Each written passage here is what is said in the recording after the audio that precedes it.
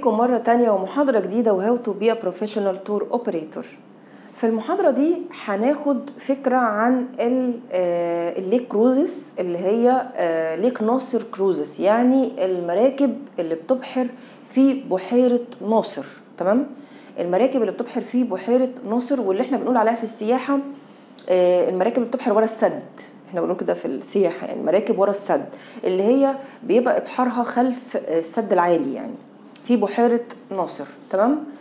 طيب المراكب اللي بتبحر في بحيرة ناصر هي مراكب قليلة جدا ومحدودة جدا وعددها قليل جدا. يعني يعني ممكن تكون مثلا حوالي في حدود 3 4 أو ماكسيموم قوي خمس مراكب. يعني هما دول تقريبا اللي بيبحروا في بحيرة ناصر. أنا طبعا بتكلم على الوضع قبل الكورونا. أنا لسه مش عارفة مين اللي هيتحرك بعد الكورونا. تمام؟ إحنا بنشرح بناء على الشغل اللي كان موجود قبل الكورونا. أما بعد الكورونا مين من المراكب قرر يكمل ومين لا قدر الله قرر ما يكملش؟ ده موضوع تاني يا جماعة. تمام؟ الثلاث أو أربع مراكب أو الخمس مراكب بتوع بحيرة ناصر دول هم معروفين لينا في مجال السياحة. أشهرهم على الإطلاق اللي هي Steigenberger عمر الخيام وهتلاقوا كمان في Prince Abbas تمام؟ وفي كمان ال Nubian Sea وفي African Dreams يعني تقريبا زي ما قلت لكم هم ثلاث أربع أو ماكسيموم قوي خمس مراكب بتبحر في بحيرة ناصر تمام؟ طيب آه بصوا معايا كده على الخريطة. أدي مثلا لو افترضنا دي خريطة مصر تمام كده؟ وأدي نهر النيل. المجرى يا جماعة بتاع نهر النيل جاي من الجنوب للشمال. طبعا أنتوا كلكم عارفين الموضوع ده إن نهر النيل بيبدأ من الجنوب إلى الشمال. يعني الجنوب هو المنبع والشمال هو المصب. فبالتالي وانت ماشي كده فانت ماشي مع تيار المية. معايا؟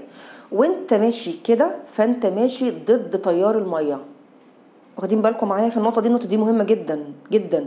تاني وانت ماشي من تحت لفوق انت ماشي مع تيار المية. وانت ماشي من فوق لتحت انت ماشي ضد تيار المية. تمام؟ ال lake cruises ليها two itineraries في itinerary اللي هو عبارة عن 4 days 3 nights وبيبدأ في أبو سمبل وبينتهي في أسوان. أنا ببدأ في أبو سمبل. أبو سمبل يبعد عن أسوان 3 ساعات زي زي ما قلنا في العربية في العربية مش في النيل يعني. أبو سمبل هو موجود يعني بيبعد عن مدينة أسوان حوالي 3 ساعات في الطريق. ففي المية أنا بتجه من أبو سمبل أهو تحت لفوق. تمام؟ من تحت لفوق. يبقى اذا يبقى اذا أنا ماشي مع إيه؟ مع تيار المية. فعشان أنا ماشي مع تيار المية فالموضوع سهل بالنسبة للمركب. معايا؟ عشان كده ال itinerary بيبقى 4 days 3 nights وبيبدأ يوم الجمعة وينتهي يوم الاثنين. طب تعالوا كده نمسك مع بعض ايدينا كده. ادي يوم الجمعة اهو.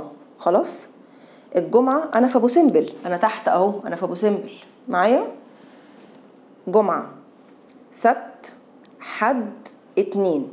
تاني. جمعة. سبت حد اتنين.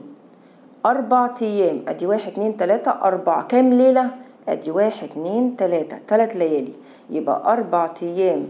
تلات ليالي ببدأ الجمعة بخلص الاتنين ببدأ في أبو سمبل بخلص في أسوان. أنا ماشي مع اتجاه المية. أنا ماشي مع اتجاه المية. معايا؟ طيب الايتنر التاني عبارة عن خمس أيام أربع ليالي. بيبدأ في أسوان وبينتهي في أبو سمبل. المركب ماشية عكس. ماشية ضد الميه ضد التيار. معايا؟ فأنا نازل من فوق لتحت. أنا نازل من فوق لتحت. من أسوان أنا نازل على أبو سمبل وماشي عكس اتجاه المية. معايا؟ فعشان كده الايتنري بياخد خمس أيام أربع ليالي. عرفتوا ليه ده أربعة تلاتة وليه ده خمسة أربعة؟ عشان وأنا في الأربعة تلاتة أنا ماشي من أبو سمبل على أسوان فأنا ماشي مع اتجاه المية.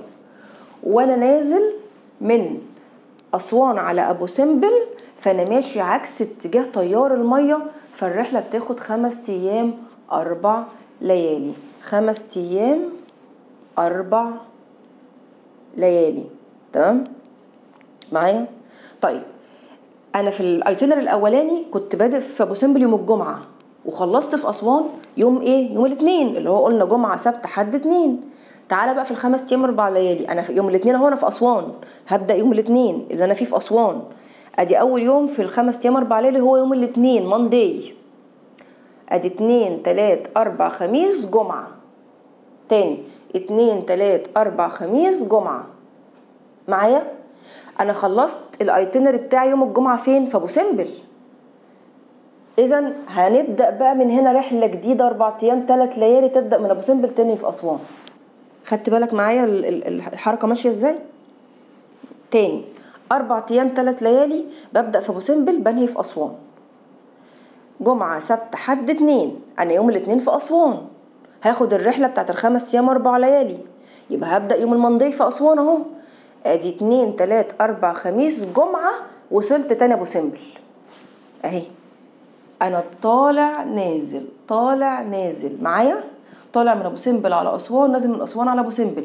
من أبو سمبل أنا في أبو سمبل يوم الجمعة. هطلع لحد أسوان هوصل هنا يوم الاثنين. هرد من أسوان على أبو سمبل تاني من يوم الاثنين هوصل هنا الجمعة. وهكذا. معايا؟ دول كده ال two itineraries بتوع ال lake cruise ال lake ناصر كروز.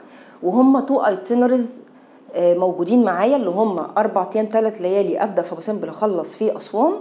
وخمس أيام أربع ليالي أبدأ في أسوان أخلص الرحلة في أبو سمبل.